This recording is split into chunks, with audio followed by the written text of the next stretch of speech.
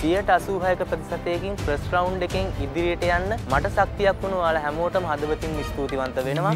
නොන්නි මෙන්න දිවිගමනේ නිවනේ මග පෙනෙන තුරා.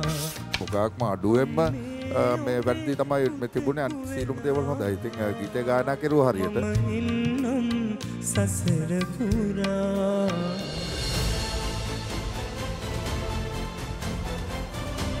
අමල් සර්ගෙන් වගේම රුවන් සර්ගෙනුම් මට හොඳ කමෙන්ට් සම්බුණා පසිදුර පුළුවන් ආකාරයේ මුල ඉඳලා අග වෙනකන් ඒ ගීතේ තිබුණු රසතැන් රස කරා.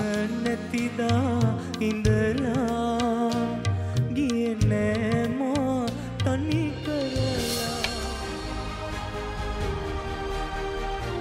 ප්‍රස් රවුන්් එකට වඩා අදවසේ ගායනා කරන ගීතයට මං උපරිම සාධාරණයක් කල්ලා ඔයාලගේ ආදරණීය වෝට් එකත් එක්ක ඉදිරියට යන්න තමයි මගේ එකම බලාපොරොත්තු